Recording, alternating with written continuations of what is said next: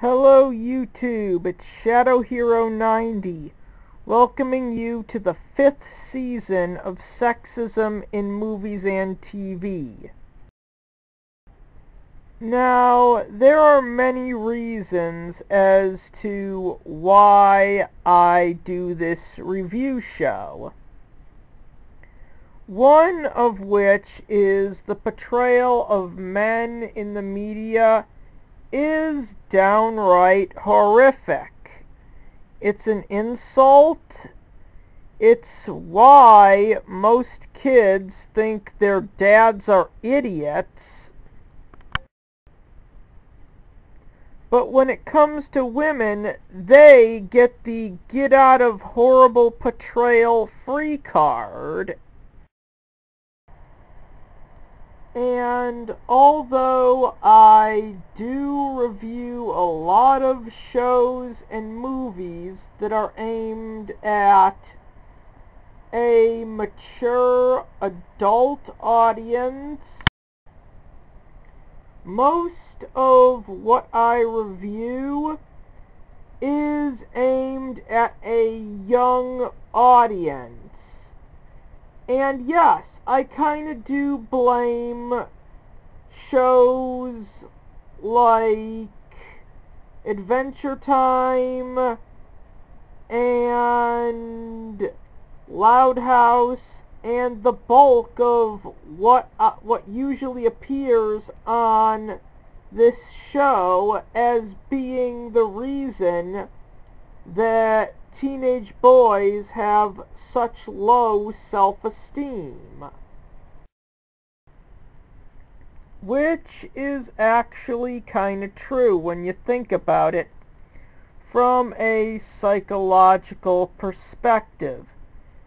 If when every single portrayal, well almost every single portrayal of men and boys on TV and in movies is negative, of course they're going to, of course these teenage boys, when they first hit puberty, are going to have horrible self-esteem. So, in that regard, I kind of do, well, I, not kind of, I know that I have a noble cause when I rip apart these televised pieces of shit. So anyways, on with the review. Let me just start this review off by saying I am not a fan of the original Thundercats. I did not watch it when they brought it back on Toonami in the late 90s. When they put Thundercats Roar on demand, I saw the first two episodes and I did not know where the insane level of hatred for this show was coming from. I saw two more episodes and I still couldn't understand where the hate was coming from. But then I saw the episode Warrior Maiden Invasion and I kind of realized where the hate for this show might be coming from. It's different. In this episode, Tygra is just as stupid as anyone else, and in this episode, Wily Kit is Lion-O, and Wily Kat is Tygra. So the episode starts with the Thundercats playing hide and seek as a training exercise. And Wily Kat gets upset that his sister is essentially going around smashing things, giving away their position, and causing them to lose at hide and seek. He even says this will happen. A prediction that came true when they returned to the safe zone and all the adults made it past them because the Thunder Kittens accidentally had been given away because Wily Kit couldn't go two seconds without smashing something. Wily Kit is kind of berated by everyone for essentially smashing things, giving away their location, and causing them to fail. But since she's Lion-O oh, in this episode, thing, well, her idiot, her stupidity is going to be the thing that saves the day. Then the warrior maidens show up and start terrorizing Third Earth. The warrior maidens reveal themselves as who they really are, and the Thundercats see them. And within less than half a minute, Wily Kit is instantly fangirling over them. It becomes obvious that the warrior maidens are going to attack the thunder base which they do again in less than a minute. Easily defeat the Thundercats as well as wreck their base and throw them in the Thunder Brig. Which, because Tygra's an idiot in this episode, he designed to nullify all their abilities because, well, in this episode he's just as stupid as everyone else. So anyways, the warrior maidens then go on to smash up the thunder base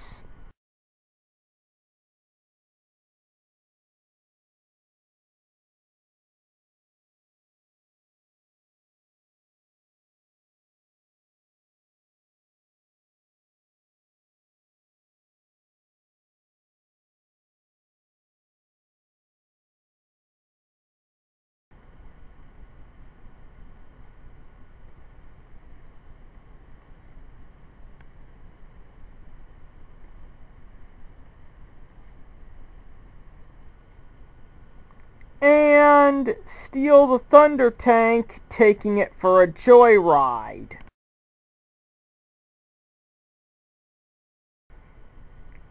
Wily Kit gets the idea to smash random things in their base and try to earn the Warrior Maiden's Cheetara notices the vent and that Wily Kit and Wily Kat could easily and then they follow it up with a joke about Lion-O being an idiot, thinking the plan commences, but Tigress Wily Kat devises an elaborate plan that could actually work if this episode was actually following any kind of logic, but Wily Kit hates it because, well, it doesn't involve smashing things, and that's what she enjoys doing.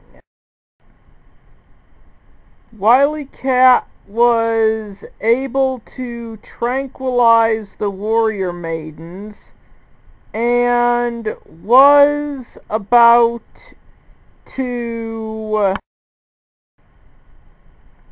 deactivate the Thunder Brig, letting the Thundercats out, which mirrored them playing hide and seek as a training exercise. If this pile of shit actually was following any kind of logic, then that's what they would go with. They, Wily Kit and Wily Kat would use the skills they gained playing hide and seek to let the other Thundercats out and then they'd all drive the warrior maidens off.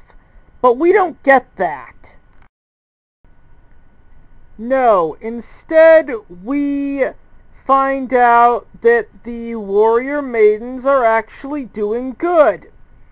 Which is the most fucked up part of this episode. I mean, they spent the last six minutes establishing these cunts as villains. The reveal that the warrior maidens are actually good and shit like the mole master being a dictator, them attacking Mumm-Ra's summer home is not only a fuck you to all the little boys watching, but it's actually a fuck you to the original. And I now understand why there are a lot of Thundercats purists who are livid over this show's existence. So anyways, Wily Kat walks up to them and tries to address the situation with words, but the warrior maidens attack him. So anyways, since this is a hypocritical piece of garbage that solely exists to, uh, you know, get social brownie points,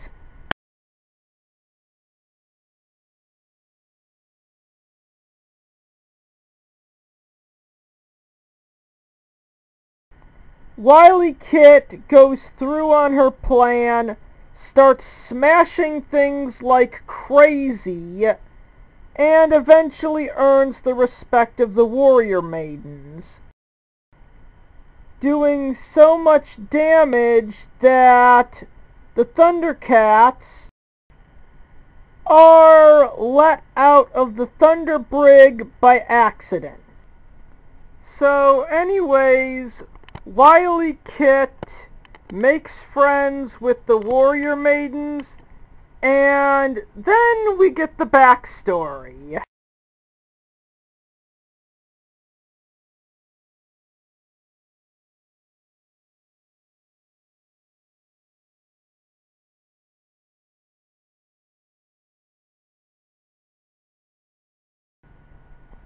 Which, might I say before saying it, is unbelievably hypocritical.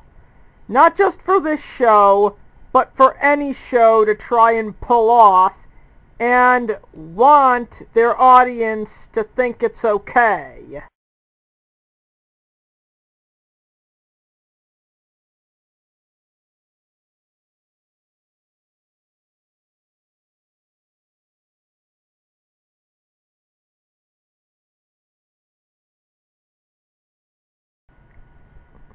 The warrior maidens were the original heroes of Third Earth until they were defeated by Mumm-Ra.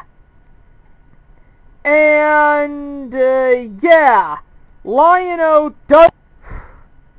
And they believe that they believe him, but they assume Wily Kit is the team leader. When Lion-O points out that he is, they don't believe him. And the episode just ends with the warrior maidens being dicks to everyone else except Wily Kit. And then the warrior maidens are never seen again after this piece of shit episode.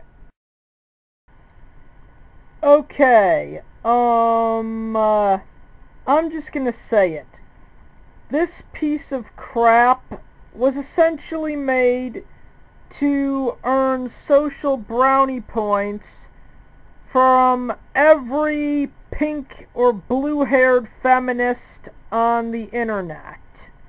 That is something that's extremely hypocritical. Women go on and on about how the Disney princesses kill the self-esteem of little girls. Stuff like this kills the self-esteem of little boys. This piece of sexist garbage is unbelievably hypocritical. Remember last November when I attacked the episode Dragon Quest from My Little Pony? Here's kind of a good comparison to point out the level of hypocrisy in stuff like Warrior Maiden Invasion. Hypothetically, let's say that the people at Cartoon Network realized that DC Superhero Girls, a franchise that technically what you're seeing on screen is a reboot of the original that didn't even last a year. Let's say the people who are running Cartoon Network came to the realization that this franchise was a bad idea. So, in the final episode, you know, as the means to end this abomination once and for all, the Earth is invaded by Darkseid. The DC superhero girls try to stop him and they get their butts kicked. But then essentially the show introduces a version of the Justice League with the same member layout as that of the Batman. The Justice League tell the superhero girls to get bent and let them handle Darkseid, but they refuse to the point where the Justice League essentially uh, beats down and, well, not so much beats down, but, but restrains the superhero girls, defeat Darkseid, and have the superhero girls locked up on locked up uh, in, on Stryker's Island. Either that or in Arkham Asylum if Cartoon Network did that, the internet would go batshit and attack them. I guarantee you of that. Warrior Maiden Invasion is such a load of anti-male bullshit that I would rather watch the Saved by the Bell episodes, Jessie's Song and House Party back to back over that piece of man-hating garbage. And now I'm just going to say it. I am done. The review is over.